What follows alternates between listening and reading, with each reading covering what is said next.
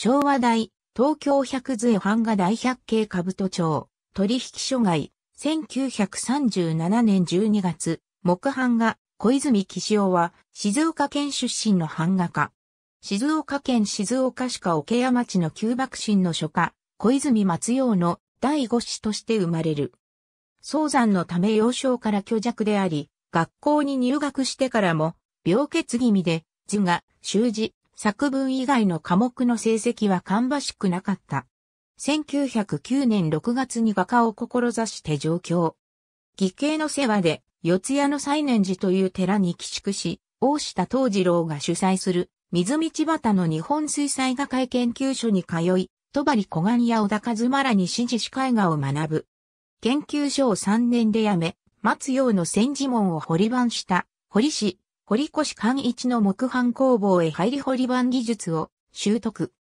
1913年には、諸女作、三色すみれを制作し、堀の修行に励む傍ら、大下が没して解散した日本水彩画会の再建にも参加し、水彩画にも力を入れることになった。水彩画会展には15回、甲風会展には6回出品している。1915年からは、版画用具の反布や、版画の手法に関するコラムを雑誌に掲載したりと、木版画の普及に熱を入れるようになった。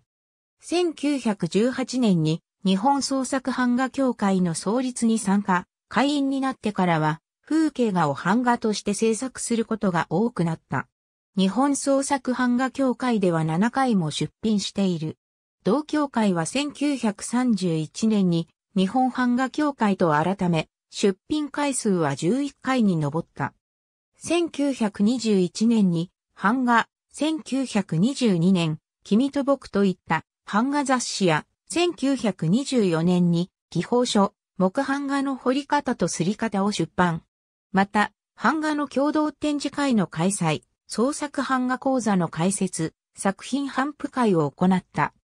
1927年には、旧満州へスケッチ旅行に出かけ、帰国後の1928年に第8回日本創作版画協会展で連作を発表した。同年定点第9回展では永代京都清洲橋が入選。これは後に、版画集、昭和大、東京百図への第一系となった。1929年には、第7回春陽会へ出品。1930年より、昭和東京風景版画百図へ制作に着手。1937年に百景を完結させた。1941年には小泉岸を創作、昭和大東京百景版画展覧会を上野松坂屋で開催した。同年、聖峰富岳36系風景版画制作に着手し、富士山麓を旅行しながら作品制作に打ち込んでいたが、御殿場で図だを患い、自宅のある下や池の畑から夫人の妹の嫁ぎ先の埼玉県比企郡吉見町へ療養のため疎開した。1945年12月7日、聖峰富岳36系風景版画の完成を待たず死去。去年52。翌1946年、遺作となった聖峰富岳36系風景版画展が日本橋三越にて開催された。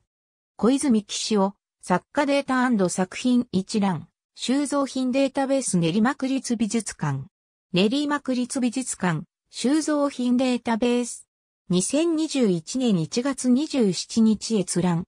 ABCDEFGHIJ 近代日本、版画家名欄、版画堂 HP、ハット ABCDEFGHI 収蔵資料、紹介、小泉騎を、配給物へ日記、第一冊、起用、昭和の暮らし研究。